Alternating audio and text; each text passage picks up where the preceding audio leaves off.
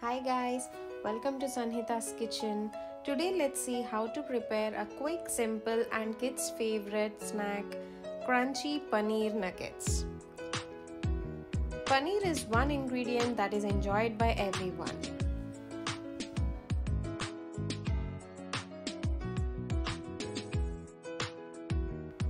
If you are new to my channel, please like, share, subscribe and support Sanhitha's kitchen. Let's get started.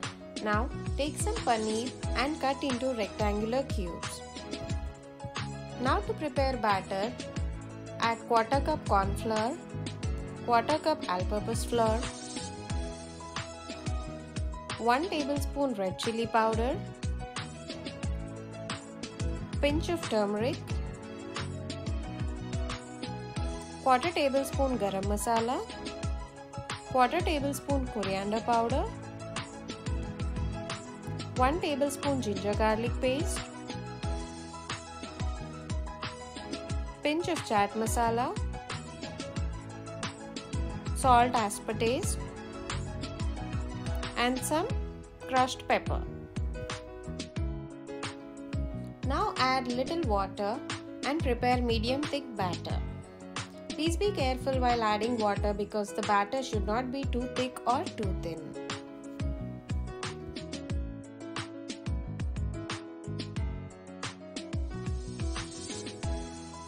Is the right consistency. Now take 1 cup of breadcrumbs or crushed cornflakes in a plate and spread them to coat the paneer pieces.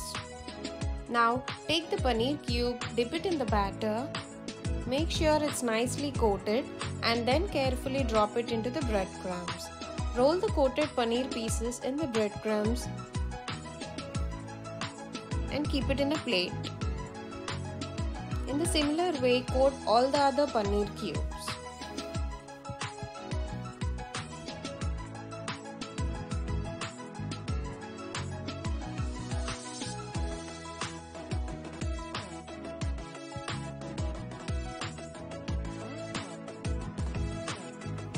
Here I am frying these using an air fryer. Instead, you can also deep fry them in high flame.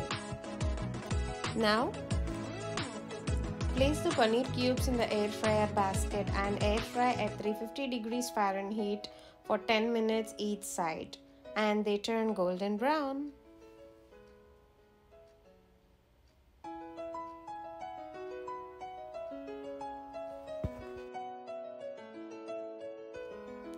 Ta-da!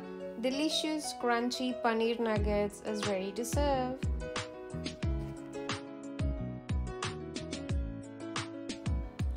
Can be served hot with some ketchup or green chutney.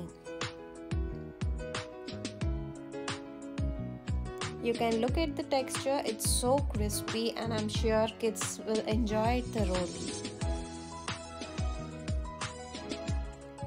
So guys, that's the quick simple paneer nuggets recipe. If you enjoyed it, please hit the like button.